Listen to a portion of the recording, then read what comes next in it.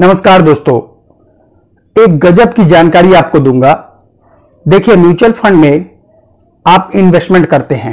अगर आप 500, 1000, 2000 up to 10000 अगर एसआईपी करते हैं तो डेफिनेटली आपका जो फ्यूचर का गोल होता है वन करोड़ का होता है।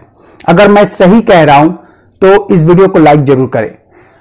एक करोड़ हमें बनाना होता है अपना रिटर्न के साथ और उसके लिए हम इन्वेस्टमेंट कंटिन्यू करते हैं।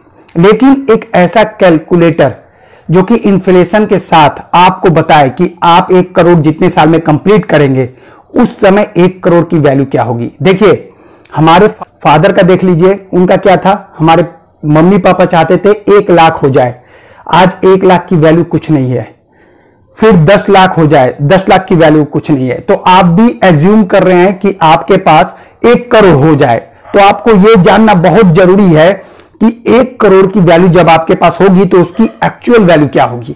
यानी कि आज का एक करोड़, आपके पंद्रह साल, बीस साल के बाद अगर एक करोड़ बनता भी है तो उसकी वैल्यू क्या होगी उस वक्त? ये जानना बहुत ज़रूरी है। एक कैलकुलेटर के ज़रिए मैं आपको बताऊँगा। वीडियो ज़्यादा लंबा नहीं करूँगा।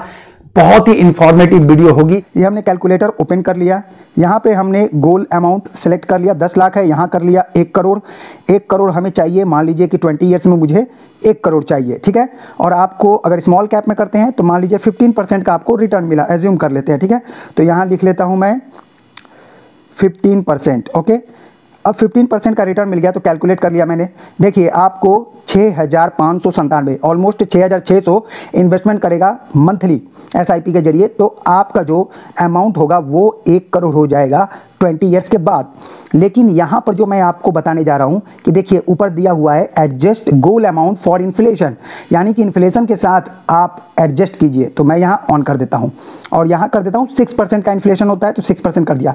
अब देखिए, आपको आज का एक करोड़ जो है, वो बीस साल के बाद तीन करोड़ इक्कीस लाख रुपए आपको चाहिए।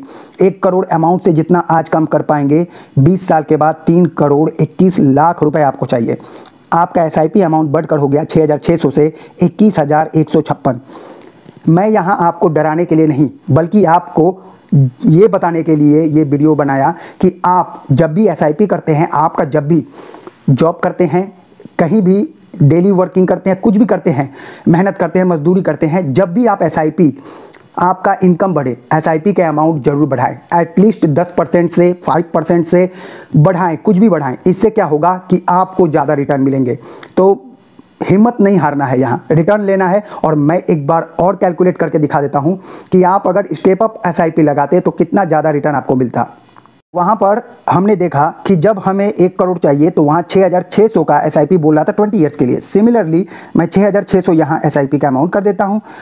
ड्यूरेशन हमने 20 ईयर्स लिया था, वही 20 ईयर्स यहाँ भी ले लिया मैंने। उसके साथ मैंने यहाँ पर एज्यूम कर लिया 15 परसेंट का रिटर्न जैसे कि उसमें किया था। और साथ में मैं टॉपअप परसेंटेज कर देता हूँ 10 परसेंट का मैं ईयरली टॉपअप करूँगा। यानी कि छः हज़ार छः सौ किया हूँ तो नेक्स्ट ईयर सात हज़ार दो सौ का करूँगा।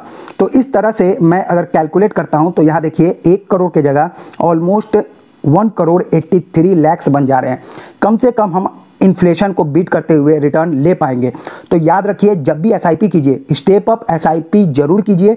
इससे डेफिनेटली आपका जो फाइनेंशियल गोल है, वो जल्दी अचीव होगा और आप जल्दी रिच बनेंगे। Thank you so much for watching this video subscribe और लाइक ज़रूर करें, आपके प्यार की ज़रूरत है।